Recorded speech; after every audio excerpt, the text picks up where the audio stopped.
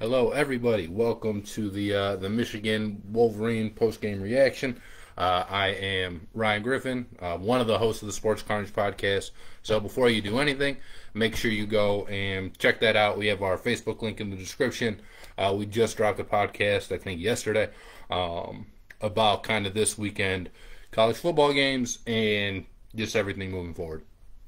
But obviously we're here to talk about the, the Michigan Rutgers game that just kicked off. Usually these are a little bit longer. Uh, I am going to try to cut it a little bit shorter so that I can uh, make the kickoff for the uh, the Michigan State Nebraska game here. But um, what a what a game! You know, I'm sure if you're if you're a Michigan fan, you were on pins and needles a little bit uh, at the end there in the second half. Really, um, a tale of two halves. You know, Michigan kind of came out and and started to dominate the game, and you felt like it was going to be a game that they were going to be more than comfortable with. Uh, you know, they got some free points before the half um, with Rutgers going for it on like fourth and ten. They didn't end up getting it, um, and then Michigan marched down all the way to the red zone. Um, probably could have had a touchdown. Bad throw, the bad throw, so they had to settle for a field goal. Um, but in the second half, you know, it just seemed like Michigan was never really able to uh, to pull away from Rutgers uh, until you know the, the very very end there. Um, one thing that I think Michigan did exceptionally well today, uh, which really probably you know was able to secure them the win, was their uh, their red zone defense. You know they had uh, one spot where Rutgers they only got a field goal out of it, and then in the second half when Rutgers was down a touchdown, um, they were in the red zone and Michigan actually ended up uh, or they ended up missing a field goal because Michigan was able to force like a fourth and ten, um, and the Rutgers pushed a, a, field goal wide, wide right, I think. So big, uh, not not necessarily a big game, um, but it's a big win in the uh, in the sense that you know Michigan's still undefeated. Um, you know, this wasn't a, a primetime game or anything. But Michigan being undefeated going into Madison next week against what looks now like a very you know vulnerable Wisconsin team, um, not losing this game, what it does for Michigan is it keeps their goals ahead of them.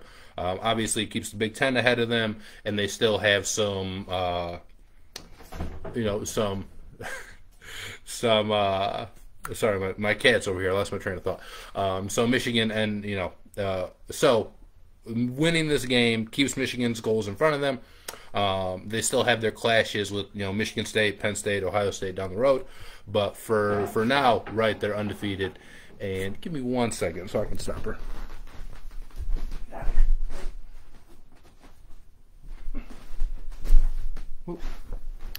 Sorry about that. I usually don't uh, go grab her, but she was uh, threatening to knock some artwork uh, off my walls over there. Uh, let's get to some of these comments. Second half was so bad. Yeah, the second half wasn't uh, wasn't good at all. Nothing to write home about if you're Michigan. But one thing I think I guess you could probably take from the second half is that even though Michigan played bad, they were still able to pull out the win. Right?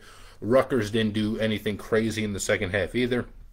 I know they had a bunch more like first downs than Michigan did, but they really weren't able to convert it into uh, you know, kind of into so many points.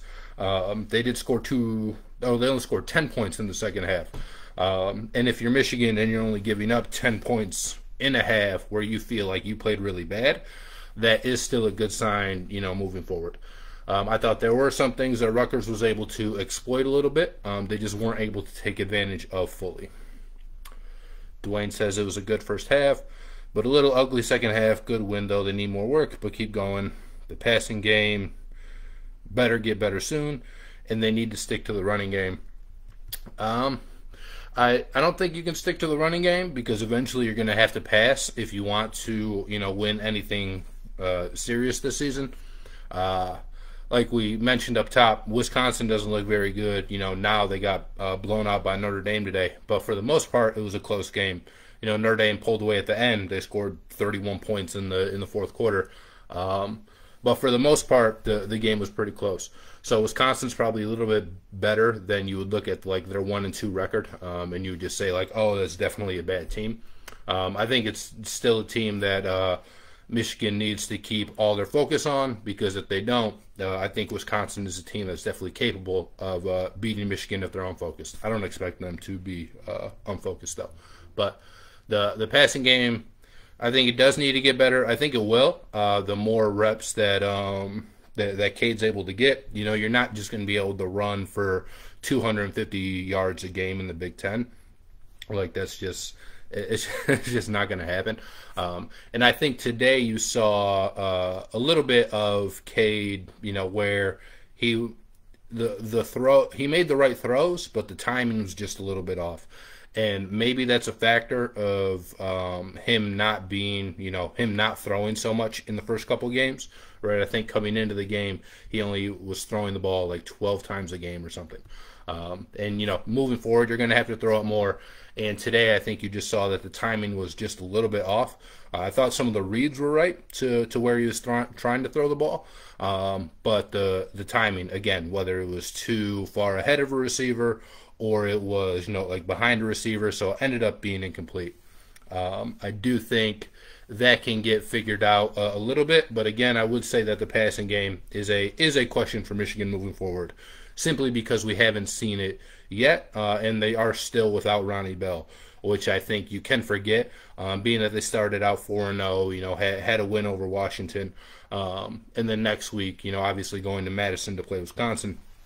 Um, I do think that with how well their offense has looked running the ball, you can forget that their top receiver uh, you know, is out for for the year. But when they need to start to throw the ball, that's something that you know maybe you should remember um, because he's going to play a big part in the the passing game that they're going to have moving forward.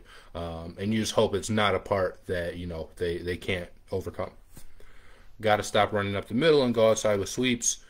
Uh, yeah, I mean, running, uh, uh, you know, up the middle obviously is that philosophy of you know you're running north and south, right? You want to make sure that you're getting upfield, and for the most part, Michigan's been able to do that. Uh, but running outside, as we saw today, I think it really helped Michigan on that last drive, even though they ended up missing the field goal. So I guess how much did it help them really, except for running some some time off the clock? Um, but they were able to run to the outside and move the ball. Eventually, they missed the field goal, so you didn't get any points out of it. But I do think that um, having a, a, better mix of the run game will, you know, w- will help Michigan moving forward. In this game, it didn't seem like the running backs had as big of a game. I'm going to check the the box score right now, um, because you know obviously Corum in specific was uh, kind of going crazy this year and it didn't seem like he had too many uh, big runs today. I just want to check the numbers to to kind of verify that though. Uh, so yeah, Corum 21 carries, 68 yards, uh, about three yards a carry, um, and Michigan as a team um, a little bit under three yards a carry. But obviously, you know, you take like sacks into consideration and stuff. So they're their worst game running the ball so far. And one thing that I thought Rutgers was able to do uh, pretty well was utilize like the the short passing game. Um, you know, they here it looks like their their running game was able to do well. Again, just looking at the numbers, almost five yards a carry. Watching the game, it didn't seem like they were so effective running the ball. Uh, I know they're able to pick up some third downs uh, with the run, but for me, when Rutgers was able to move the ball mostly, and again, they only scored 13 points, so it's not like they were going up and down the field with anything they were doing uh, but utilizing some of that short passing game where they weren't, you know, really taking too many deep shots, but it was just, you know, a five yard throw here or a halfback screen there. Uh, and it seemed like that's how they were able to get into some of those advantageous positions of third and second, third and one, where then they were able to pick up uh, and continue the drive with a, um, you know, with a read option or you know with the run, uh, something like that. Rutgers made the appropriate halftime adjustments, and I have no clue what we did. Um, I I guess one thing that I think Rutgers did in the better in the second half was they started getting up on Michigan receivers. Um, in the first half, I thought they were kind of playing. Uh, they were giving McNamara too much respect um, and giving his arm too much respect, and they were kind of playing off the Michigan receivers. And you even saw it. You know, Michigan had. Uh, uh, probably a ton. Uh, well, 163 rushing yards, so not a ton of passing yards. Um, but it just seemed like in the first half when they threw the ball, they were able to get a first down every time because Rutgers was playing some pretty uh, some pretty soft coverage, and I do think that they stopped that in the second half. Um, and not that Michigan panicked on offense, but I thought it made Michigan's offense, um, you know, more clunky than what they would have liked, and it allowed Rutgers to have an opportunity at the end, and really, you know, a couple times before the end, um, to to tie the game, and they weren't able to to get it done. So again, that's a credit to Michigan's defense forcing the late turnover, um, and then the red zone defense forcing uh, forcing two field goals, one that one that Rutgers was um, you know unfortunate enough to miss. Caden missed the open tight end in the end zone. That would have been huge. Yeah, they gave away four points right there. Um, no, I thought it was a really dumb decision by Rutgers to go for it on fourth and ten. Um, with like, is there a minute left or something, uh, where Michigan easily could have gone down the field, and they did score. Uh, but yeah, Cade missed uh, the tight end for for a touchdown. It was a it was a bad throw. He was wide open. Um, he dropped it, and you know they cost the team four po- four points. And in a in a closer game, you know that might have um, that might have come back to to haunt Michigan. In this game, in the end, it didn't end up mattering. Um, although I guess you could argue it did because they were only up a touchdown late. And you know, if you get seven instead of three there, uh, you know, it becomes a 24 13 game instead of 22 13. Michigan got lucky with bad Rutgers play calls. I, I did so. I don't. I do think Michigan got lucky to an extent, but I also think overall their defense still played well enough to win. I would agree though, Rutgers didn't do anything to help themselves. Uh, there are a ton of questionable play calls that I thought uh, Rutgers went through with. Um, even on the fourth down, where they try to do like that fake, hey, we don't know what the play call is, and then the running back ran under center.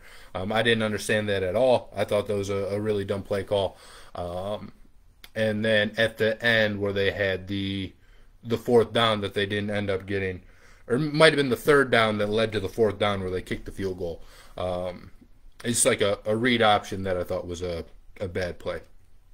That they didn't end up converting, you know, and then they missed the field goal, and then obviously Michigan goes on to win the game. Is Josh Ross still questionable or fully healthy? Uh, we're not, so we're not going to know that yet. Um, yeah, we're just not going to know that yet. And even if Michigan knows that, they're definitely not going to tell us, you know, 20 minutes after the game ended. One dimensional. Uh, I I think there's an aspect of that. I do think the passing game can get better, but right now it's probably fair to call Michigan uh, a one-dimensional football team. Um, and then next week, you know, again against Wisconsin, it's definitely an easier game now than it appeared to be uh, going into it. Where was Haskins at? Where was Haskins after the first series? Um, I believe Haskins scored a touchdown on the second series, right? Um, yeah, I think he got the first two touchdowns. Uh, I don't know. I mean, he wasn't really effective either. Like we ran through Corum's numbers a little bit: 21 carries, 68 yards. Haskins had 12 carries for 41 yards. So neither of them were really able to do much. Haskins obviously did score the two touchdowns, um, but Rutgers, for the most part, did a good job of bottling up Michigan's run game. Um, that is that is kind of all that we have now. Hopefully, we'll be able to do something a little bit longer um, for the Wisconsin game. But I, I am a Michigan State fan, so I want to get uh, on this game so that I can give that game kind of the love it deserves too. But if you guys uh, have tuned in or are tuned in, please go listen to the Sports Carnage podcast. Just dropped a, a, fresh new one right off the right off the presses yesterday, so go check that out. Um, Spotify. Apple Podcasts, Podbean. You can see it all there. And if you're watching this on YouTube, um, all the links to our social medias, which is going to be Sports Carnage Podcast on Twitter and Facebook and YouTube. Obviously, if you're watching on YouTube, you already know that. They'll be in the description below. Um, and then if you're on Facebook, I'm sure you're watching Detroit Sports Nation, but if there's a subscribe button, hit that so that way you guys get all this news, and we will be back at uh, back with you, excuse me, um, after the Michigan State and Nebraska game, and then we'll be here for the uh, the Lions game tomorrow as well. So thank you guys so much for tuning in. I'm Ryan from the Sports Carnage Podcast. Go check that out so that you can hear not only myself, um, but my four and five other rotating co-hosts that we have. Um, it's pretty chaotic, which is why the name Sports Carnage fits. So thank you guys so much. This video will be up on YouTube um, probably within the next two hours or so. Thank you and have a good night.